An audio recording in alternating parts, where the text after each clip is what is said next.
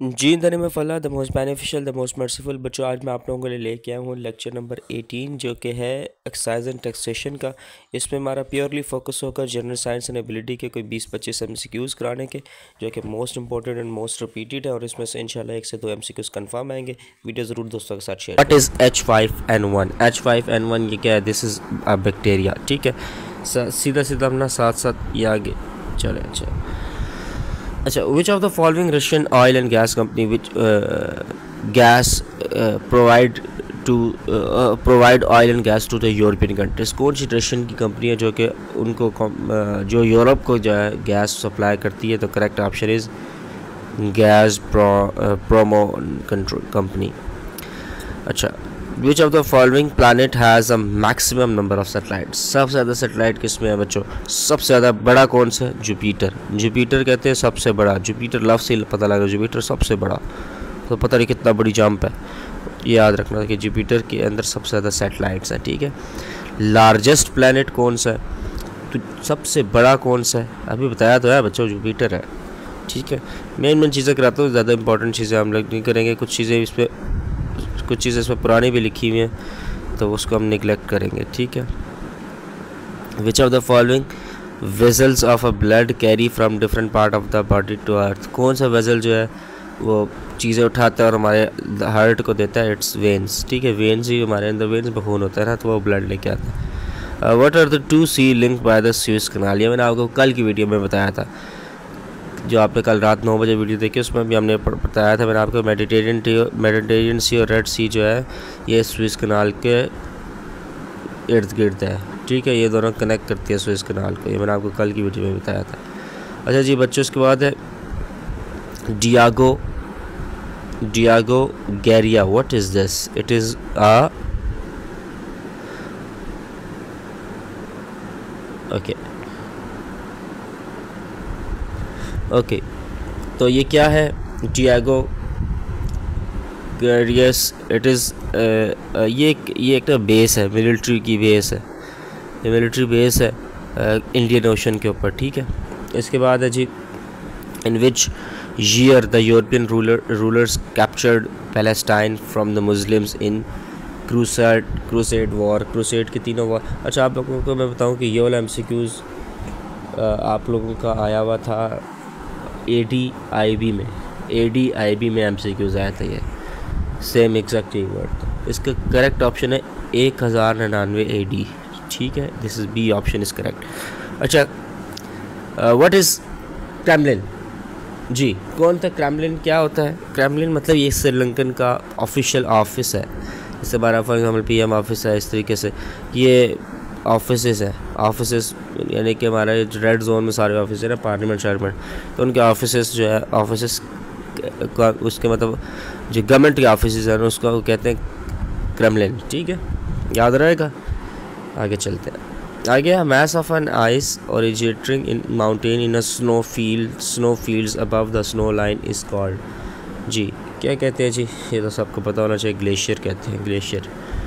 Mess कहते हैं वज़न को। एक आइस का वज़न जो है माउंटेन के स्नो फ़ील्ड से अबव द स्नो लाइन तो ज़ाहिर है ग्लेशियर ही हो गया ना जब अर्थ आती सॉरी जब वो आती रहती है, बर्फ़ आती रहती है, आती रहती है, फिर वो स्नो लाइन से ऊपर चली जाती है। इट्स कॉमन सेंस अच्छा खैर, अगला हम सी हम बारवा कह रहे हैं कि डायमीटर ऑफ़ अर्थ कितना है। डायमीटर ऑफ़ अर्थ कहते हैं radius is equal to diameter number two to the ledge and diameter है, रेडियस आपको अगर पता है तो आप निकाल लेंगे, वैसे डायमीटर रट्टा मार लें। रट्टे के अलावा वैल्यूज़ याद करने का कोई तरीका नहीं है। One, two, five, seven, six, seven, five, six. One, इसको इस तरह याद रखना, बारह, पच, सिक्स, इस तरह मतलब कुछ भी रट्टा मार लें यार, लेकिन ये आप लोगों ने याद रखना freezing point of heavy water कितने? इंपॉर्टेंट एम सी क्यूज़ है ये भी। हैवी वाटर का फ्रीजिंग पॉइंट होता है three point eight two degree, यानी कि ये ए ऑप्शन ठीक है, अक्सर बच्चे मुझे कहते हैं, सर, आप इतना लिख देते हैं ना इसके ऊपर, इतना गंद मार देते हैं कि हमें चीज़ें नज़र नहीं आती। तो बच्चों आप कोशिश करते हैं कि हम थोड़ा गंद मारें। How many satellites how many satellites set Saturn planet की कितनी सेटेलाइट्स है तो इसकी फिफ्टी सिक्स सेटेलाइट्स है, ठीक है? Which of the following dead of which of the following dead of a natural death natural death की क्या है? अच्छा sorry which of the following died of a natural death इनमें से कौन सा जो है कौन साहब जो है नेचुरल डेथ से मरे थे? आ, ये भी नेचुरल डेथ से नहीं मरे ये भी नहीं मरे। आगे हमारे पास ऑप्शंस कौन सी हैं? मरे ये भी नेचुरल इसका ऑप्शन नंबर डी होगा, क्योंकि ये तीनों तो मुझे पता है कि नेचुरल डेथ से नहीं मरे अच्छा आगे है जी head office of UNESCO is located in very important UNESCO का ऑफ़िस कहाँ पे है? अब आप ये बच्चे इसमें ना अक्सर, मेरे पास एक ट्रिक है पेरिस जो भी है ना पेरिस ठीक है। इसमें यूनेक्सो ना वो एजुकेशन चिल्ड्रन की है ना यूनेक्सो हो गया। आपको ना बल्कि कल की वीडियो में ना छः सात मिनट की वीडियो बनेंगी, उसमें आप लोगों को कोशिश करा, करता हूँ कि सारे याद कराऊँ। वो इस तरह होता है कि जो चीज़ फॉर एग्ज़ाम्पल आपको देता हूँ, एक चीज़ है यू से शुरू होती है ओ पे ख़त्म होती है। इसमें यू एन ओ आ जाता है यूनेक्सो आ जाता है, इस तरीके से फॉर एग्ज़ाम्पल ये सारा इनकी ट्रिक है, वो मेरे नोटबुक में I would recall it and I will let you know वो फिर ये है कि सारे पेरिस में हैं, कुछ जो पैसों वाली चीज़ें हैं, जैसे आईएमएफ है। पैसों वाले में क्या क्या आता है? आईएमएफ आता है और क्या वर्ल्ड बैंक है, जो मतलब पैसा जिसमें चलता है। ये दोनों किसमें है? आपके वाशिंगटन में है, ठीक है। इस तरीके से ट्रिक है ये मैं आप लोगों को आने वाली वीडियो में डिस्कस करता हूँ। खैर, अभी आप याद रख लें कि यूनेक्सो का है the head office of UNESCO is located in Paris ठीक है।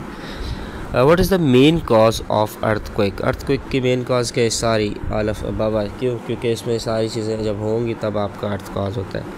अगला एटीन एम सी है कि digital divide is related with नाम से ज़ाहिर हो रहा है यार डिजिटल डिवाइड किसे कहते हैं? टेक्नोलॉजी को, ठीक है? जब आपके दो मुल्कों के दरमियान सेम टेक्नोलॉजी नहीं होगी तो हम इसको कहेंगे कि डिफरेंस है टेक्नोलॉजी एरा में, ठीक है? और सेकंड लास्ट एम है, आज का what is Ivy League Ivy League किससे कहते हैं? जी बच्चों एवी लीग ये एक यूनिवर्सिटीज़ ये यूनिवर्सिटी है ग्रुप ऑफ़ एट यूनिवर्सिटी है इन द यूएसए ठीक है?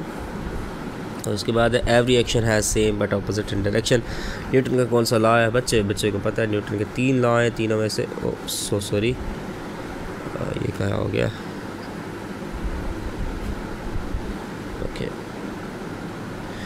तो ये आप लोग सबको पता है कि बच्चों ये कौन सा न्यूटन का लॉ बनता है? जैसे Newton law third law of motion ठीक है? तीसरा। ओके okay, तो इस तरीके से हमारी ये जी की सीरीज़ आगे चलती रहेगी। कोशिश करूँगा बीस पच्चीस बीस पच्चीस एम सी क्यूज़ मैं बनाने में चाहूँ तो अभी सौ एम सी क्यूज़ बना लूँ दो घंटे की वीडियो बना लूँ लेकिन उससे बच्चा कन्फ्यूज़ हो जाता है बच्चा बोर हो जाता है सॉरी तो अक्सर मैं कोशिश करता हूँ छोटी वीडियो बनाऊँ ताकि आप लोगों को फ़ायदा हो।